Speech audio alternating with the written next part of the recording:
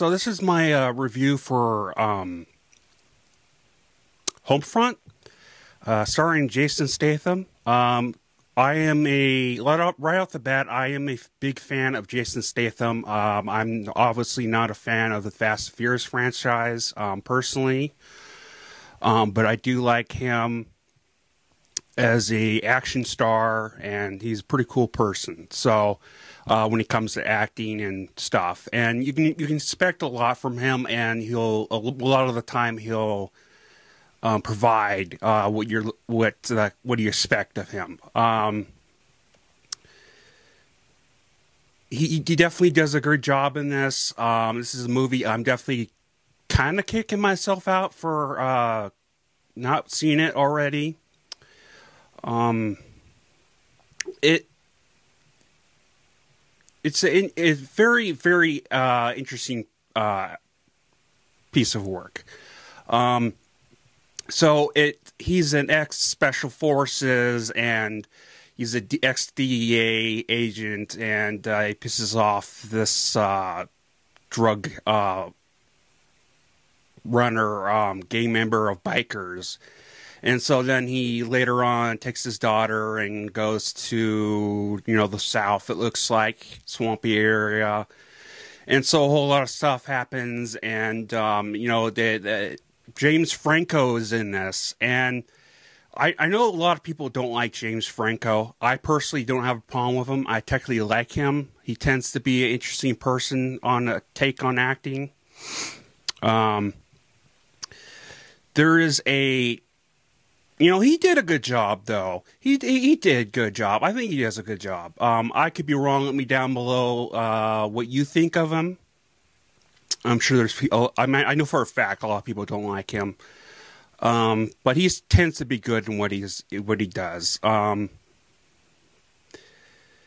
there, there is a part. There is a big black guy in here, like wide wise, that it looks so familiar, and I, I can't put my finger on where he's when I see him in. He does kind of look like um, Whitaker. His last name is, I believe you know, with the eye kind of squint problem. Big black guy usually in uh, action films and you know dramas. Um, it's I know it's not him because you can tell by the eye, but he looks like a younger version of him.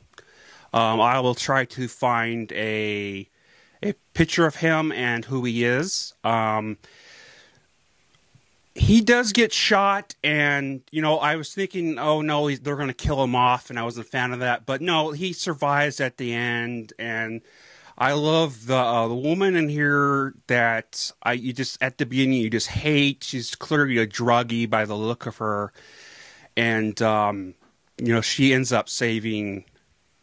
Uh, you know, standing up for the kid, redeeming herself, then gets shot. Um, which I'm I'm actually surprised after she redeemed herself that she was alive. Um, as far as we know, um, there's an actor in here that he usually plays the badass guy, and I like him, but he dies a lot in the movies. Um, he's more of a side actor, kind of action guy.